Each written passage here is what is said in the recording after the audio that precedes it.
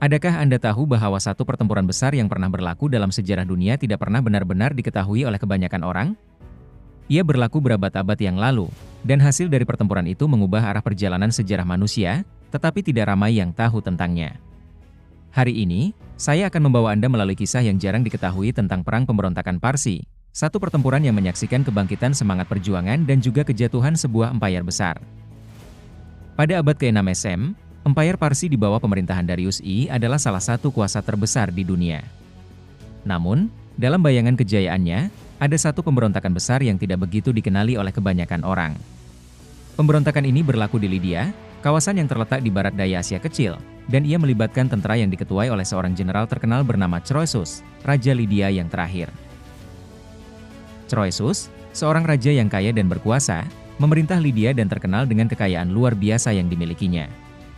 Namun, setelah beberapa pertempuran dengan kerajaan Parsi, Croesus memutuskan untuk memerangi Darius I untuk menghalang kemarahan Empire Parsi. Dia mengumpulkan pasukan besar dan menyusun strategi untuk menghadapi Parsi, tetapi dia tidak tahu bahwa pertempuran ini akan memberi kesan yang besar kepada nasib kerajaan Lydia. Pemberontakan ini berakhir dengan kekalahan besar bagi Croesus dan kerajaan Lydia.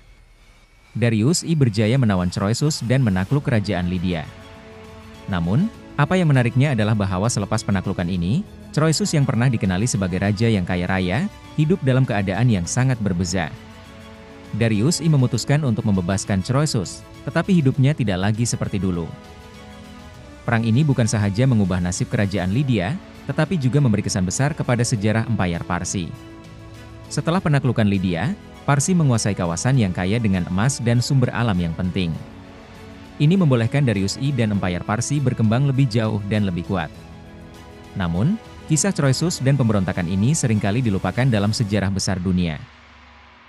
Jadi, meskipun kita mungkin tidak selalu mendengar tentang pertempuran ini, ia adalah satu kisah yang menggambarkan betapa pentingnya setiap peristiwa dalam sejarah.